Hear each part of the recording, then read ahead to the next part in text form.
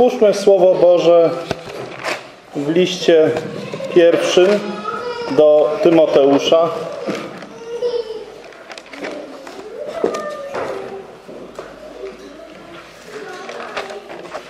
Pierwszy list do Tymoteusza.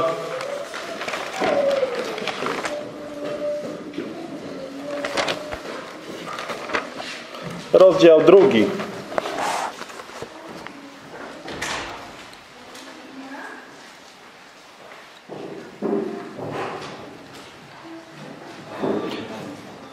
Rozdział drugi pierwszego listu Pawła do Tymoteusza. Przede wszystkim więc napominam, aby zanosić błagania, modlitwy,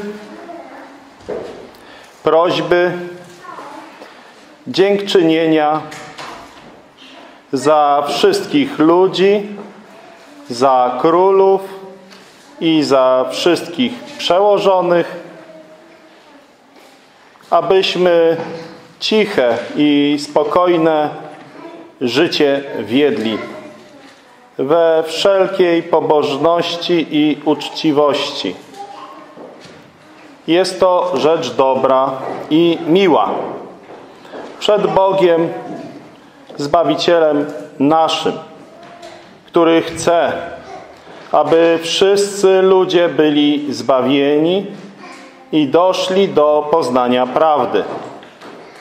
Albowiem jeden jest Bóg, jeden też pośrednik między Bogiem a ludźmi. Człowiek Chrystus Jezus, który siebie samego złożył jako okup za wszystkich, aby o tym świadczono we właściwym czasie. Na to zostałem ustanowiony kaznodzieją i apostołem. Prawdę mówię, nie kłamię. Nauczycielem pogan w wierze i w prawdzie.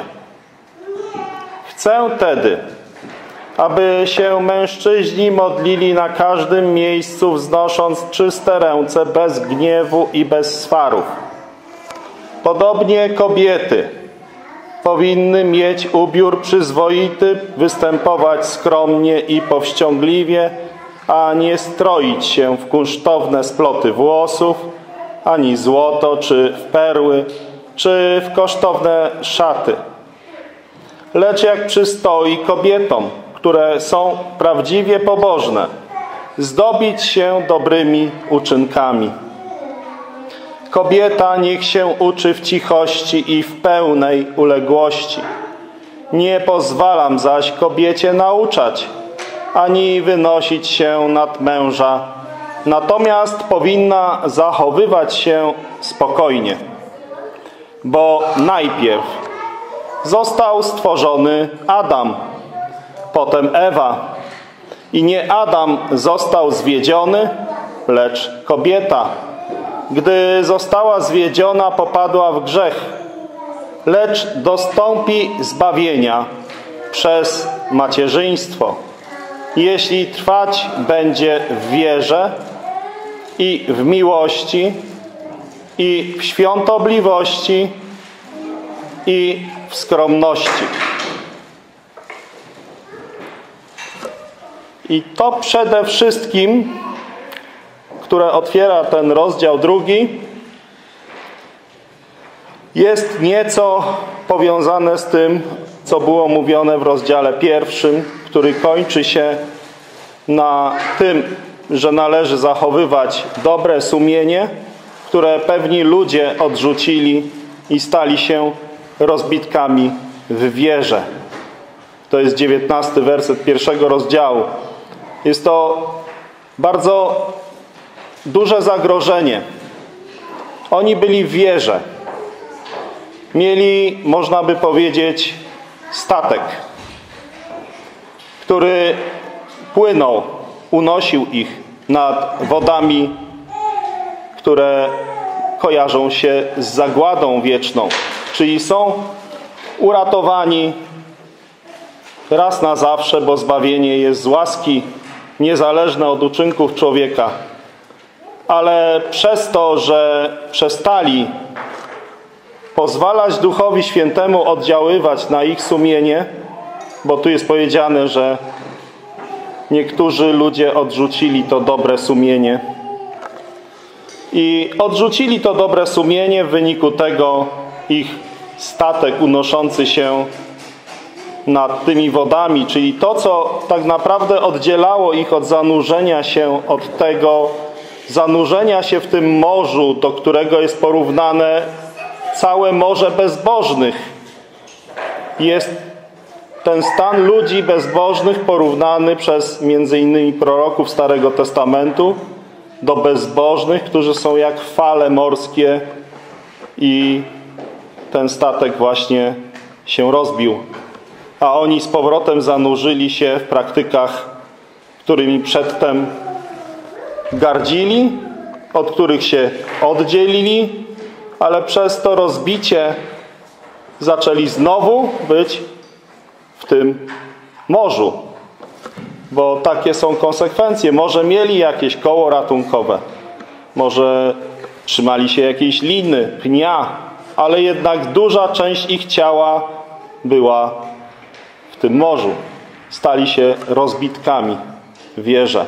Jest to duże zagrożenie dla nas, bo my mamy bardzo dużą wiedzę. Każdy z nas ma całą Biblię w domu, co dla wierzących tamtego okresu było nieosiągalne.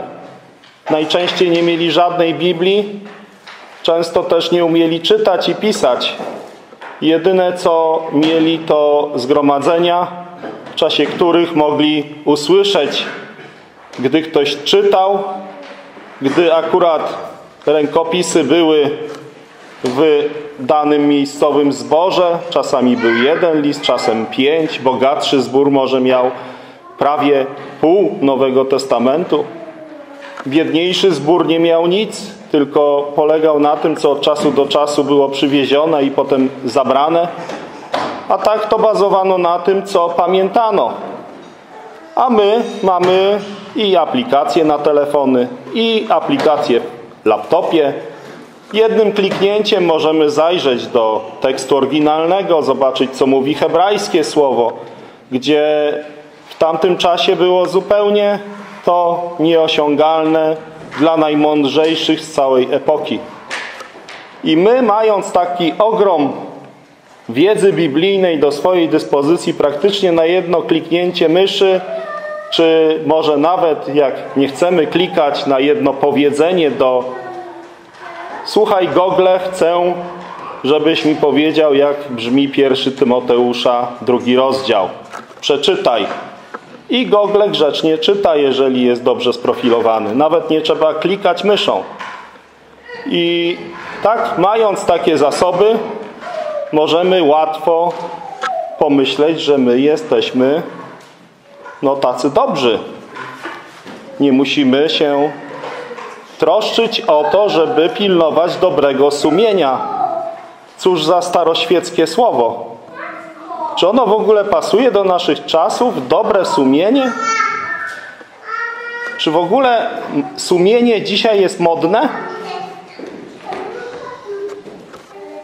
Żyjemy w świecie, gdzie jest nie tylko niemodne, ale posiadanie sumienia jest traktowane jako pewnego rodzaju upośledzenie i pewnego rodzaju głupota. Tym bardziej, ponieważ każdy z nas ma trochę własnej ludzkiej godności, musimy się tego strzec, żeby nie ulec modzie tego świata. Bo w modzie tego świata nie ma takiego stroju, który nazywa się sumienie, a dobre sumienie to już w ogóle wyszło dawno temu z mody. I tu dwudziesty werset pokazuje dwa negatywne przykłady. Hymeneusz i Aleksander, których oddałem szatanowi, aby zostali pouczeni, że nie wolno bluźnić. Oddanie szatanowi mamy też wspomniane w pierwszym liście do Koryntian, piąty rozdział. Tam pewien człowiek przekroczył Bariery, których przekraczać nie można, jeśli się kieruje człowiek dobrym sumieniem. Zaczął żyć z żoną ojca swego.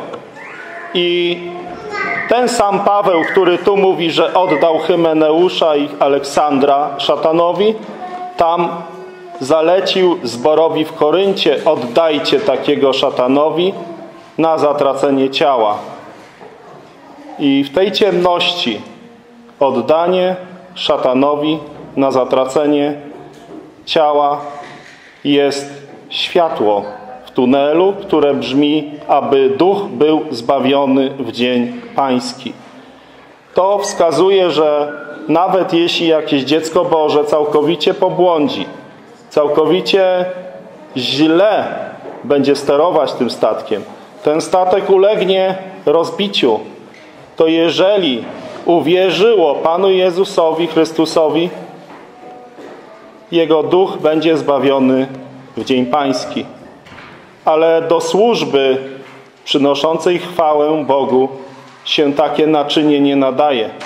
To jest jak złote naczynie, z którego jadł pies. Nie podamy w tym naczyniu naszemu honorowemu gościu, gościowi zupy, gdy przyjdzie do nas w odwiedziny. Na przykład jakiś brat by przyjechał z kazaniem z zagranicy, mielibyśmy go ugościć. Mamy piękne złote naczynia. Z jednego jadł pies. Z tego, z którego jadł pies, nie podamy strawy naszemu gościowi. Ono jest ku niesławie, mimo że jest ze złota, czyli ma w sobie ten obraz boskiego odkupienia, gdy jest ze srebra, albo życia Bożego, gdy jest ze złota. I niestety tak jest, że diabeł, nie mogąc spowodować zatracenia wierzących, stara się ich uczynić nieużytecznymi. Nieużytecznymi. Bo nieużyteczny wierzący jest tak samo neutralny dla niego, jak stuprocentowo zgubiony. Sprawiedliwy, który jest chwiejny przed bezbożnym, jest jak zmącone źródło. Czasami jesteśmy wycie na wycieczce gdzieś na łonie przyrody i jest tam czysto, załóżmy. Na tyle czysto, że chcielibyśmy się napić wody ze strumienia. Więc jeżeli ta woda jest czysta, to nawet możemy nabrać wodę do ręki i napić się. Bardzo lubiłem tego typu picie wody, gdy byłem na wycieczkach w górach właśnie wiosną czy wczesnym latem. Tego typu woda była całkowicie miła, przyjemna, ale gdy ktoś wszedł do tej wody chwilę wcześniej i grunt został wzruszony, to było tam błoto. Woda nie nadawała się do picia. Dokładnie tak samo jest ze świadectwem chrześcijanina, który jest chwiejny przed bezbożnym. Strzeżmy się chwiejności przed bezbożnymi bo w każdym nas jest taki lot, który chce z jednej strony, żeby ci ludzie się nawrócili, ale z drugiej strony ma pewną słabość do tego, żeby zasiadać w bramie Sodomy, żeby razem z bezbożnymi realizować pewne cele, nie separując się. Wtedy jest bardzo łatwo nabrać ich obyczajów, może dzisiaj już całkowicie zapomnieliśmy o pewnych regułach, bo świat na przykład mówi, że nie ma nic złego w tym, żeby chłopak i dziewczyna przed ślubem mieszkali razem, żeby się przetestowali, żeby sprawdzili, jacy są, zanim wezmą ślub. Albo może z tymi podatkami nie należy być takim zbyt rygorystycznym. W świecie tak to działa. Jeżeli brakuje nam wiary, to możemy mieć pokusę. Jak ja z takimi wygram w biznesie, jak oni oszukują to ja muszę też. I wtedy jest to źródło zmącone. I wtedy jest to całkowicie nie nadające się do zaczerpnięcia. Jest to bardzo duży poziom odpowiedzialności, który mamy, będąc wolnymi w Chrystusie, bo Chrystus dał nam wolność do tego, abyśmy nie musieli czuć się związani regułami tego świata. Jakub mówi, że prawdziwą pobożnością przed Bogiem jest nieść pomoc sierotom i wdowom i zachowywać siebie niesplamionym przez świat. Niesplamionym przez świat, czyli być asertywnym, jak to dzisiaj jest modne, jeśli chodzi o propozycje tego świata. Być całkowicie uodpornionym na wszelkiego rodzaju wpływy niepochodzące ze Słowa Bożego. I przede wszystkim więc napominam. Słowo napomnienie jest kolejnym niemodnym słowem. Bo co to znaczy napominam? Bardzo często jak próbujemy kogoś napomnieć, albo gdy nas ktoś napomina, to od razu natura starego człowieka, którą ciągle w sobie mamy, krzyczy on cię osądza. Jakie on ma prawo? Kim on jest? Co to za jakieś brzydkie maniery? Nie wypada napominać. Otóż wypada. Słowo Boże wielokrotnie wzywa nas, żebyśmy napominali jedni drugich. Wręcz mówi zakon, że to jest objaw miłości. Że nie będziesz miał w nienawiści bliźniego swego, ale będziesz go napominał. Więc jeśli nie napominasz, to ty go nienawidzisz. Skąd on może wiedzieć, jeżeli daną rzecz robi nieprawidłowo, to prawdopodobnie dlatego, że tego nie wie, że to jest nieprawidłowe. Można by to porównać do takiej słynnej piosenki, że wsiadł do autobusu człowiek z liściem na głowie. Jest to trochę wesoła piosenka, ale tam puenta była taka, że on siedział w tym autobusie, wszyscy się z niego śmiali, bo miał liść na głowie i dopiero po dłuższym czasie ktoś się zlitował i powiedział mu, że ma liścia na głowie. I my czasami mamy taki liść na głowie, liść na podeszwie, liść na marynarce i wszyscy dookoła komentują, patrz, on ma liść na głowie. To jest grzech, to jest plotka, to jest godne potępienia. Wpierw podejdź do tego, co ma liść na głowie i powiedz mu, że ma liść na głowie. Niech on sobie go ściągnie i schowa. To jest objaw nienawiści nie powiedzieć komuś, że ma liść na głowie. Oczywiście parafrazując, bo chodzi tu oczywiście o napomnienie. Aby zanosić błagania. Co to jest błaganie? My nie jesteśmy nauczeni błagać.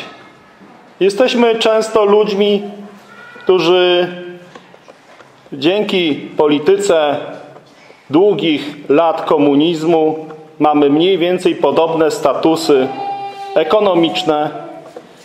Każdy z nas ma mniej więcej za co przeżyć.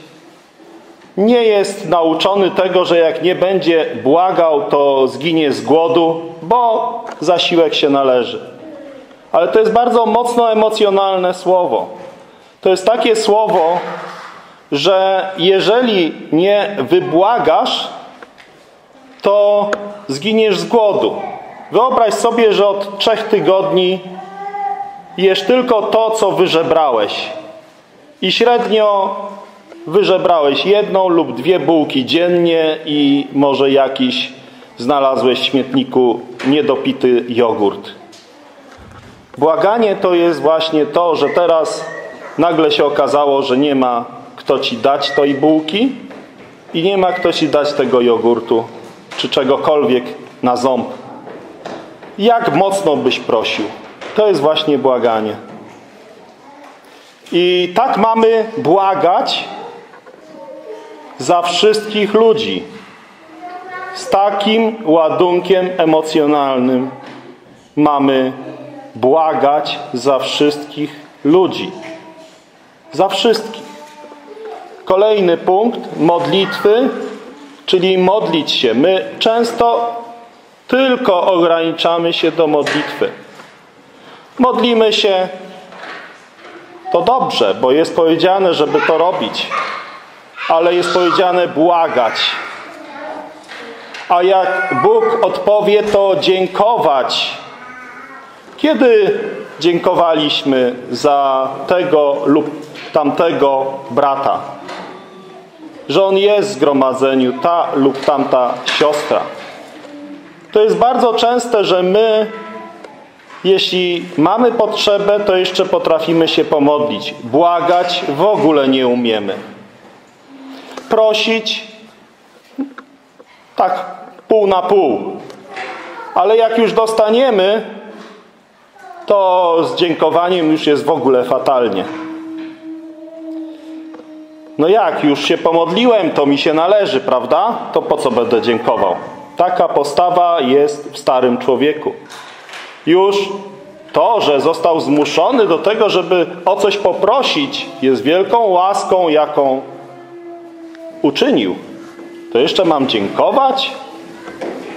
Takie mamy wewnętrzne nastawienie w starym człowieku. Brońmy się przed tym, żeby dopuszczać do głosu taką postawę. I tu jest powiedziane za wszystkich ludzi, również spośród tych ludzi, za królów, za wszystkich przełożonych. Po co? Bo może byśmy się modlili za wszystkich królów, ale za rządzących to już nie bardzo, bo rządzących to my zazwyczaj mamy w jakimś takim negatywnym świetle u siebie przestawionych. To są ludzie, którzy od nas coś chcą. Przełożony coś chce. Nikt nie lubi szefa z pracy. Najchętniej chciałby mieć innego, ale jak spytasz jakiego, to za bardzo też nie wie, bo generalnie mamy w sobie wielkie podłoża anarchizmu. Najchętniej byśmy sami byli szefem, ale bez odpowiedzialności szefa. Czyli żebyśmy my rządzili, ale odpowiedzialność za to, żeby wszystko się odbywało we właściwym porządku, chcielibyśmy, żeby ktoś inny poniósł. A to się tak nie da. To jest komplet. I ci ludzie bardzo potrzebują naszej modlitwy. Dzisiaj królów w zasadzie nie ma w demokracji. Królem, suwerenem jest wyborca, który staje raz na 3, 4 lata, 5 lat i wrzuca kartkę. I to jest rozmyte. Tu generalnie nie chodzi o to teraz, żebyśmy sobie szukali cesarza, króla, tylko zrozumieli generalną zasadę. Tym, którego mamy jako przełożonego, to mamy tego, kto wydaje nam jakieś polecenia i jest do tego uprawniony. Czyli jeżeli mamy władze skarbowe, no to będzie to przedstawiciel Urzędu Skarbowego. Jeżeli jest to jakaś władza związana z ruchem drogowym, no to to jest nasz przełożony w tym zakresie. Jeśli jest to jakiś klient, z którym podpisaliśmy umowę, to w zakresie tej umowy on jest naszym, jakby nie było szefem. Zgodziliśmy się wykonać to, czego sobie zażyczył. I dopóki nie podpisaliśmy z nim umowy albo słownie się nie zgodziliśmy na dany kontrakt, to nie jest naszym przełożonym, ale od momentu, gdy się zgodziliśmy, takim przełożonym się staje. I mamy za tych wszystkich przełożonych w określonym celu zanosić błagania, modlitwy, prośby i dziękować za nich. Jaki to jest cel? abyśmy ciche i spokojne życie wiedli we wszelkiej pobożności i uczciwości. Sobie wyobraźmy, że mielibyśmy władze, które zmuszałyby nas do popełniania przestępstw. Czyli, że policjant by przychodził i pierwsze co żądałby, tak jak w niektórych krajach to jest, żebyśmy mu dali łapówkę. Inaczej po prostu zrobi coś złego. Idziemy do lekarza, pierwsze co koperta. Dziękujmy, że u nas tak nie jest. Dziękujmy, że nie żyjemy w kraju, gdzie jest tak wielka korupcja. Kraje takie jak Filipiny, Meksyk są wymieniane, nie wiem czy słusznie, jako reprezentanci takich krajów, czy Turcja, że po prostu najpierw trzeba dać łapówkę urzędnikowi, zanim się cokolwiek załatwi. Przecież to jest piękne, że u nas nie trzeba tego robić. Że jest właśnie możliwość życia w uczciwości. Że nasza władza pozwala nam uczciwie funkcjonować. Może jesteśmy przez to upośledzeni w niektórych sprawach, bo nie wykorzystujemy wykrzywionych ścieżek yy, takich biznesowych, ale da się. Nie jest tak, że całkowicie wypadasz z rynku, jak nie dasz łapówki, jak to się słyszy o Rosji, czy o innych krajach, czy Ukraina. I teraz mamy za to dziękować, błagać, modlić się. I trzeci werset mówi, że te modlitwy, błagania, dziękczynienia za wszystkich ludzi są rzeczą dobrą i miłą. To jest bardzo ciekawe, bo my mamy ścigać tego, co jest miłe Panu. I tu jest powiedziane, że jedna z tych rzeczy miłych przed Bogiem jest właśnie ta czynność, czyli błaganie, modlitwy, prośby i dziękczynienia za wszystkich ludzi, również za rządzących, również za przełożonych. I tu jest pokazany cel Boży. Bóg chce, aby wszyscy ludzie byli zbawieni i doszli do poznania prawdy. Jest to zasada bardzo ważna, dlatego że są niektóre grupy religijne, które dosyć aktywne są, które twierdzą, że Bóg wybrał sobie niektórych ludzi do piekła i tym, choćbyś nie wiem co robił, to on i tak pójdzie do piekła, a że rzekomo Bóg jest zainteresowany tylko tym, że właśnie ci, co są wybrani do piekła, to pójdą do piekła, a ci, co są wybrani do tego, żeby im głosić Ewangelię, żeby im głosić Ewangelię, jest to bardzo zła nauka, bo Pismo Święte całkowicie inaczej to przedstawia. Tu jest powiedziane, że Bóg chce, aby wszyscy ludzie byli zbawieni i żeby wszyscy ludzie doszli do poznania prawdy. Bóg chce bez żadnego wypominania, aby każdy usłyszał Ewangelię i żeby każdy mógł się nawrócić. Więc jak to jest, że nie wszyscy będą zbawieni? No więc również Bóg dał każdemu człowiekowi to, co jest tym, co upodabnia między innymi człowieka do Boga, bo Bóg stworzył człowieka na podobieństwo Boże. I człowiek ma możliwość decydować. Bezcenny dar wolności. Ta wolność powoduje, że w tej wolności również człowiek może zrobić sobie krzywdę, odrzucając Boże drogi, odrzucając Boże zbawienie. Ale nie byłaby to wolność, gdyby nie zawierała w sobie również tej możliwości. Dlatego Bóg zaleca wszystkim, aby wszędzie wszyscy uznali się za grzeszników, aby wszędzie wszyscy pokutowali. Ale to zalecenie i to, że Bóg w dobroci prowadzi ludzi do upamiętania, to jest działanie Boże. A ludzką odpowiedzialnością jest, aby z tego zbawienia skorzystać. Bóg generalnie oczekuje, że każdy osobiście w swojej sprawie podejmie tą decyzję uwierzenia Panu Jezusowi Chrystusowi. I piąty werset mówi, albowiem jeden jest Bóg, jeden też pośrednik między Bogiem a ludźmi. Człowiek Chrystus Jezus. Nie ma innego pośrednika. Tylko Pan Jezus się nadawał. Doskonały człowiek, prawdziwy Bóg. Dokładnie ten, który może doskonale zrozumieć Boże myśli i Boże drogi i ten, który jako doskonały człowiek mógł samego siebie złożyć jako okup za wszystkich. Znowu za wszystkich, nie za wybranych. Złożył siebie jako okup za wszystkich. Gdy czytamy w Mateusza 13 rozdział przypowieść o tym, że pewien człowiek znalazł skarb w roli.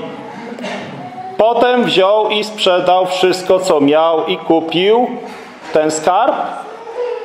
Nie. Nie tylko ten skarb. Kupił całą rolę i wydobył skarb. Ten skarb to są zbawieni. Ta rola to jest świat. Po chwilę później jest to wyjaśnione przez Pana Jezusa, że rola zaś to świat. Więc rola to jest świat i ten człowiek sprzedał wszystko, co miał, aby kupić oną rolę, aby kupić cały świat. Pan Jezus posiada podwójne prawo do każdego człowieka. Po pierwsze jako stworzyciel, po drugie jako ten, który odkupił każdego człowieka. Dlatego o fałszywych nauczycielach jest powiedziane, że zapierają się Pana, który ich odkupił. To nie znaczy, że ci fałszywi nauczyciele są zbawieni. Nie, oni odrzucają zbawienie, fałszywe nauki rozprzestrzeniają, idą do piekła. Ale Pan ich odkupił. Od strony Bożej nic nie stoi na przeszkodzie, żeby mogli przyjść do Boga i pojednać się z Bogiem. Ale przez to, że hołdują swoim urojeniom i fałszywym naukom, nie przychodzą. Wolą rozpowszechniać fałszywe wieści. I na to zostałem ustanowiony kaznodzieją i apostołem, aby o tym świadczono we właściwym czasie. Teraz jest czas łaski. Teraz jest czas przyjemny.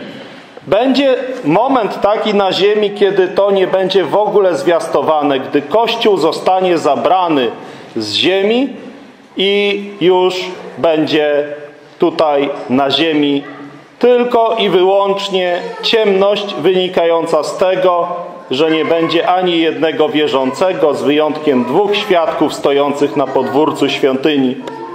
Już wtedy nie będzie głoszona ta Ewangelia w ten sposób. Tam, gdy patrzymy w tym okresie, ta Ewangelia, oczywiście ona jest oparta o doskonałe dzieło Pana Jezusa, ale koncentruje się na tym, żeby oddać Bogu chwałę. Nie jest koncentracja na tym, że Pan Jezus złożył siebie jako okup za wszystkich, aby o tym świadczono we właściwym czasie. Prawdę mówię, nie kłamię.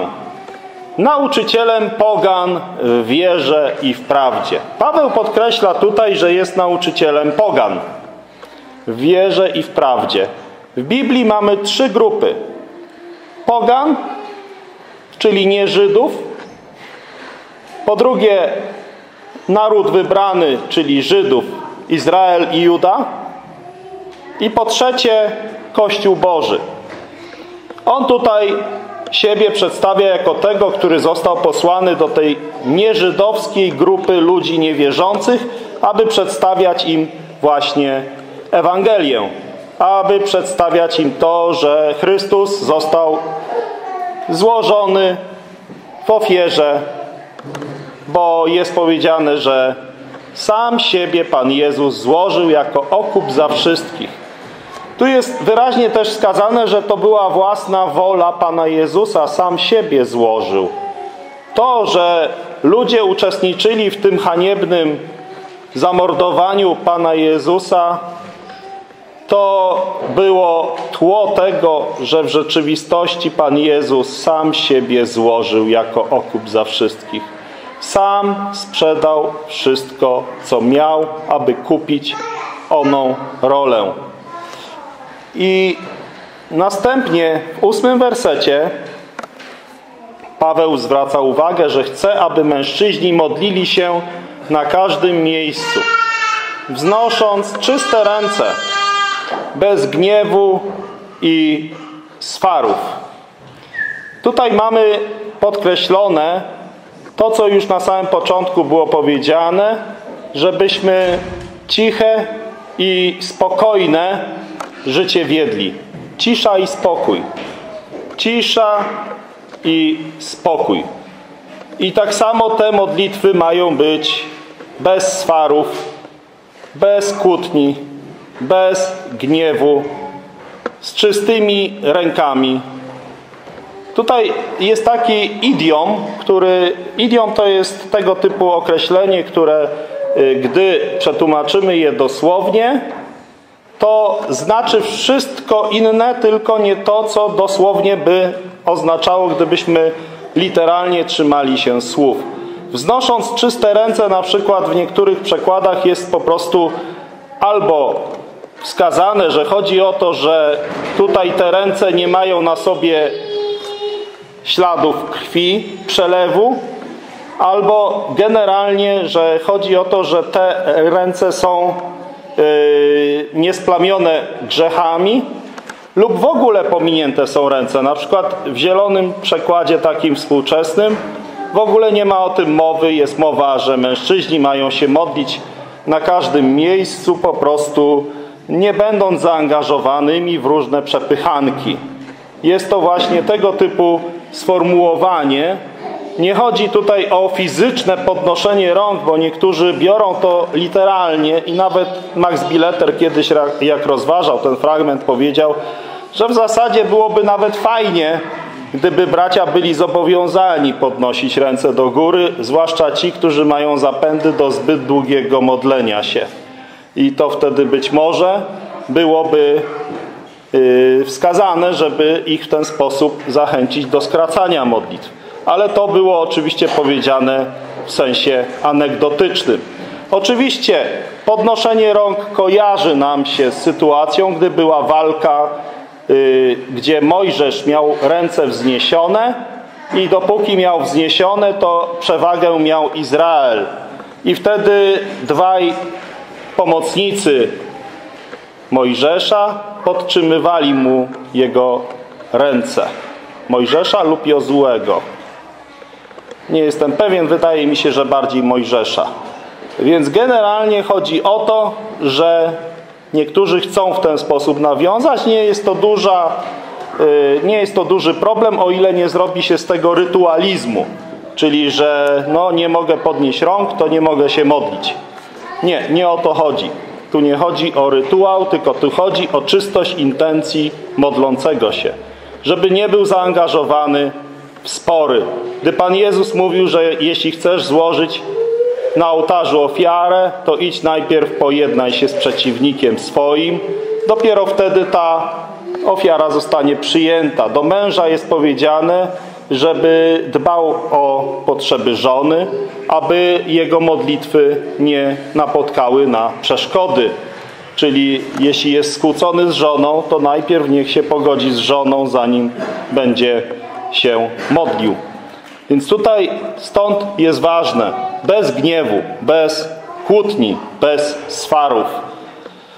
Podobnie kobiety powinny mieć ubiór przyzwoity, występować skromnie i powściągliwie, występować, y, a nie stroić się w kunsztowne sploty włosów, ani w złoto, ani perły czy kosztowne szaty.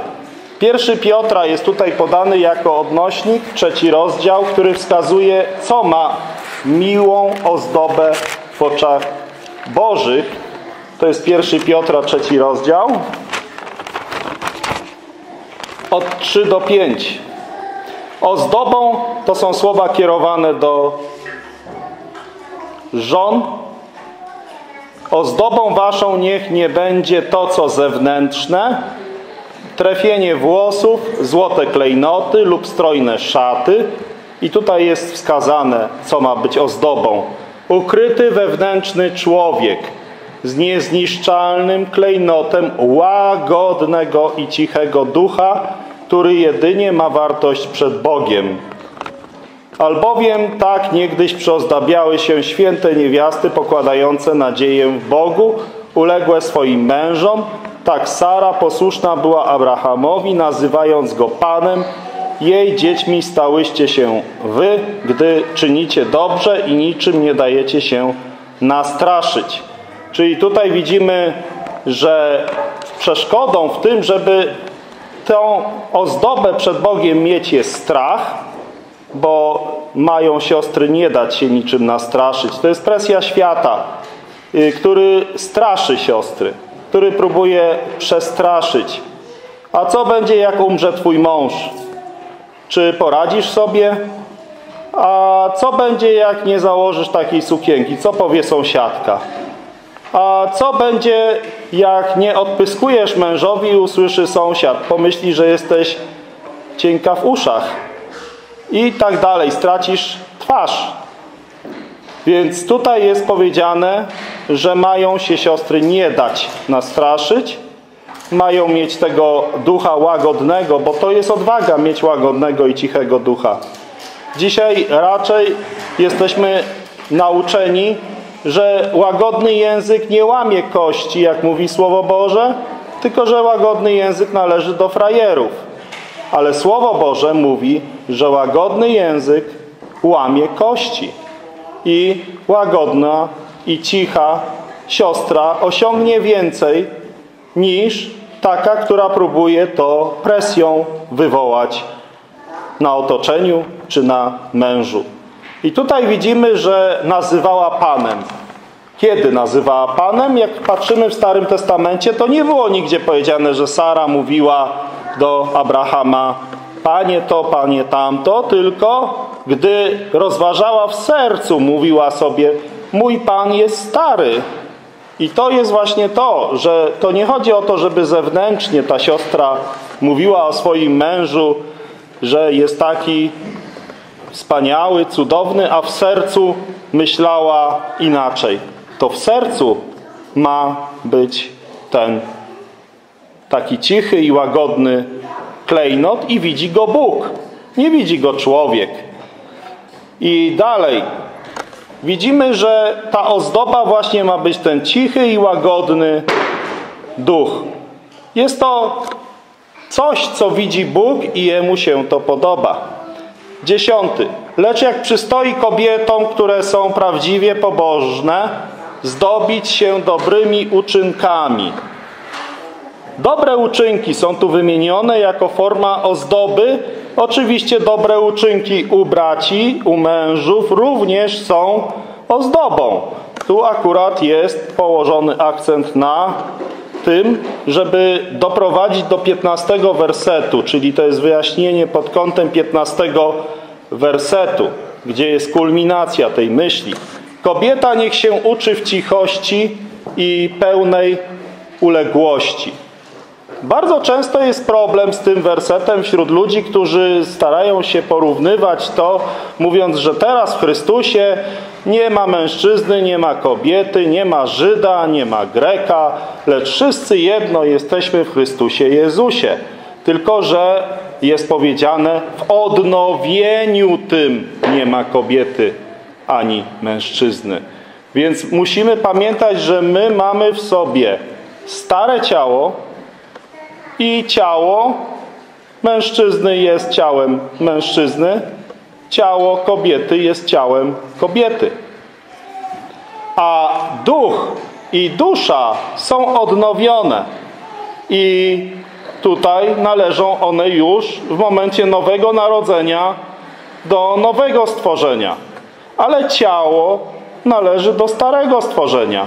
Tak długo jak w tym ciele chodzimy, to reguły z tego pierwszego stworzenia są takie same dla wszystkich. Jest mężczyzna, jest kobieta.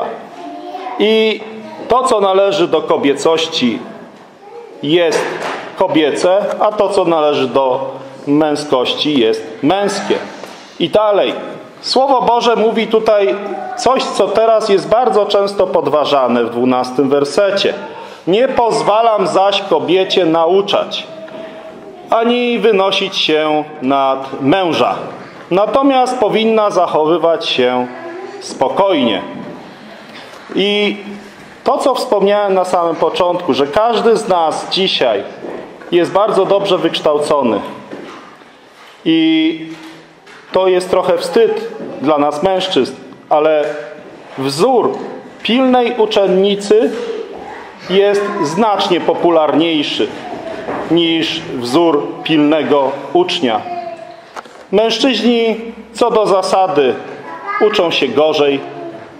Często zaniedbują to już w podstawówce, liceum. Sam pamiętam, że yy, nikt by mnie nie zmusił, żebym poszedł na studia.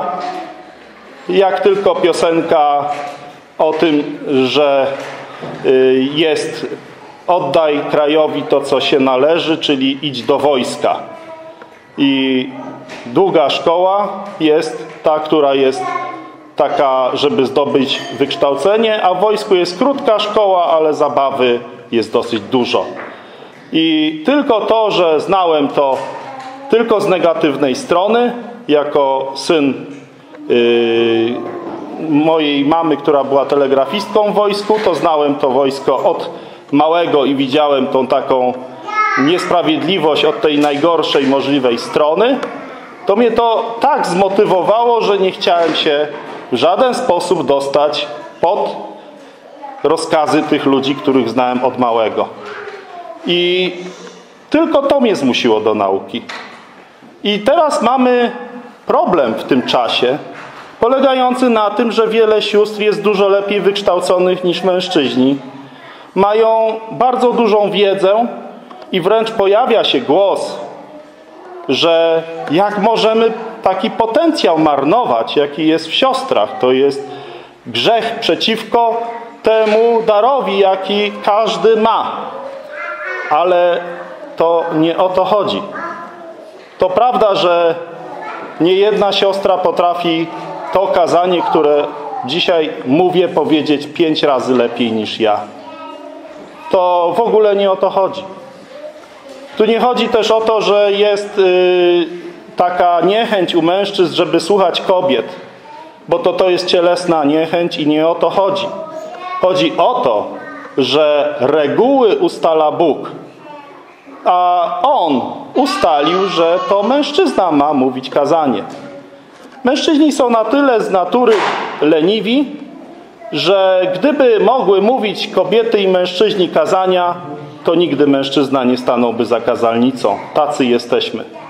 Tylko to, że jako mężczyźni jesteśmy zobligowani stawać za kazalnicą, powoduje, że coś przygotowujemy.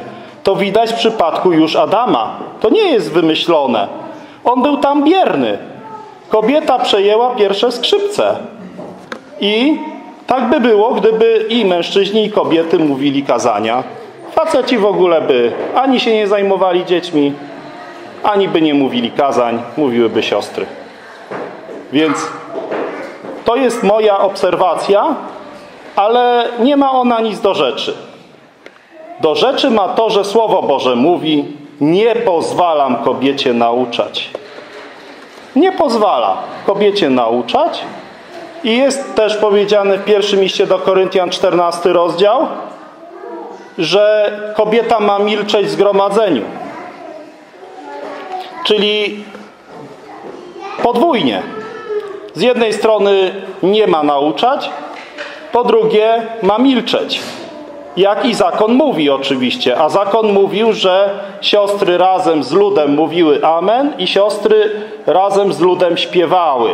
Czyli jeżeli jest podana pieśń, to siostry razem ze zgromadzeniem śpiewają i jak jest powiedziana modlitwa, to siostry razem ze zgromadzeniem mówią Amen. Natomiast to, wynoszenie nad męża tutaj jest przede wszystkim nad rodzaj męski, czyli generalnie co do zasady mężczyzny, ale w pierwszym rzędzie własnego męża, czyli takiego, którego ma jako swojego współmałżonka. Więc tutaj jest to bardzo ważne, żeby ta dyscyplina w siostrze była taka, żeby ona nie wynosiła się nad męża. Nie dawała się ponieść temu, że czasami mając lepsze rozeznanie w sprawie, musi słuchać męża. Żony, bądźcie posłuszne mężom swoim. Z tego co pamiętam, tam jest takie słowo idiokratik czy coś takiego, które wskazuje, że y, ma to wspólny rdzeń. Jeden kaznodzieja to wytłumaczył tak, że na polski by to przetłumaczył żony bądźcie posłuszne swoim idiotycznym mężom. Oczywiście on to przejaskrawił, ale chodzi o to, że faktycznie czasami jak się nas słucha, to chciałoby się zawołać do Pana z błaganiem, z dziękczynieniem, z modlitwami i prośbami, żeby Pan Jezus darował więcej mądrości temu mężowi i wracamy do pierwszego wersetu. Siostry, zanoście błagania, modlitwy, prośby, dziękczynienia za swojego pierwszego przełożonego, czyli męża. I dalej. Bo najpierw został stworzony Adam, a potem Ewa. Więc nie jest to jakaś lokalna rzecz, bo Paweł odnosi to do stworzenia. Gdyby to była jakaś lokalna sprawa, to nie byłoby 13 wersetu i 14. Ale widać, że ona jest właśnie fundamentalnie związana z aktem stworzenia, pierwszego stworzenia, czyli Adam i Ewa. Jest tu wymieniony jako ten punkt.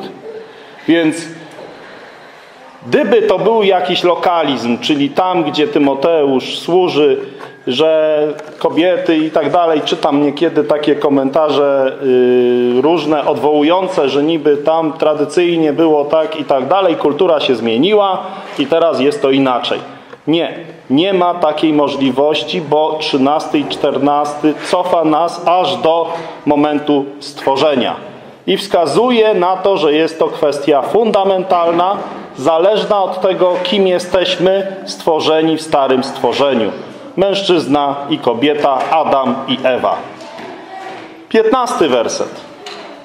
I jest powiedziane, że dostąpi zbawienia przez macierzyństwo, jeśli trwać będzie w wierze i w miłości i w świątobliwości i w skromności. Jest to dosyć często nadużywany fragment, dlatego że niektórzy próbują udowodnić, że zbawienie kobiety w sensie pójścia do nieba jest uzależnione od tego, czy będzie rodzić dzieci. Jest to fałszywy pogląd. Nie o to chodzi. Zbawienie ma różne znaczenia. Chodzi o zachowanie od tych właśnie kwestii, które tworzą pewnego rodzaju zagrożenia dla integralności kobiety i rodziny.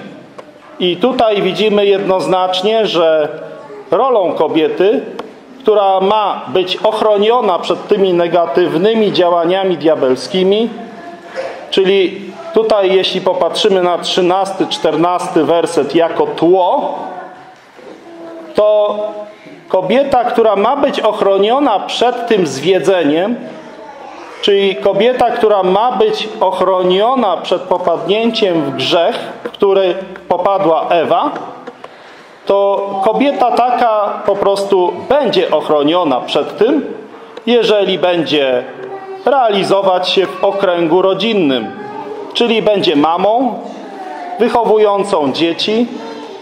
Jeśli będzie te dzieci wychowywać w wierze, i w miłości, i świątobliwości, i w skromności. W zasadzie Każde z tych słów jest dzisiaj bardzo niemodne. Skromność. Skromność ma być tym takim elementem okalającym to domowe gniazdo. Świętobliwość. Dobra matka nie chce, żeby jej dzieci były skromnie ubrane. Raczej chciałaby pokazać, jak bardzo je kocha i ile jest w stanie im dobrego dać. Ale tu jest powiedziane, że to ma być skromności. Świętobliwości. I w miłości, i w wierze. Więc tutaj bardzo ważne jest, żeby zrozumieć, że tak jak mężczyzna został przedstawiony tutaj jako ten, który na zewnątrz, na każdym miejscu ma się modlić, tak kobieta ma tą rolę wewnątrz domu, wewnątrz, nie mówię domu w sensie budynku, tylko wewnątrz ogniska domowego. I tutaj będzie ta jej rola właściwie realizowana, gdy będzie uczyła swoje dzieci posłuszeństwa Słowu Bożemu, gdy ta wiara, która tu jest wymieniona, czyli będzie po prostu ufności do Boga uczyć i będzie w miłości to realizować, a nie w jakimś terrorze i będzie dążyła do tego, żeby te dzieci w świątobliwości i skromności realizowały to, czego zostały nauczone. Nie są to jakieś cele, które ten świat ceni. To są rzeczy, które ten świat ma w pogardzie. I dlatego łatwo jest dać się zastraszyć. Bo świat powie, zmarnowałaś życie, realizując posłuszeństwo wobec Słowa Bożego. Coś ty zrobiła ze swoim życiem, poświęciłaś je dzieciom i uczyłaś je wiary, miłości, świątobliwości i skromności. Same cechy, które dziś są w głębokiej pogardzie w tym świecie. Ale my mamy ten przywilej, że my patrzymy dalej. Gdy ten świat się skończy, te właśnie cechy, skromność, świętobliwość, miłość i wiara będą tym, co nas przygotowuje do nowego świata. I można powiedzieć, że to, gdzie mamy cel, ma potem znaczenie dla tego, jak oceniamy rzeczywistość. Więc trzymajmy się Słowa Bożego jako wyznacznika, nie patrząc na to, co mówi dookoła świat.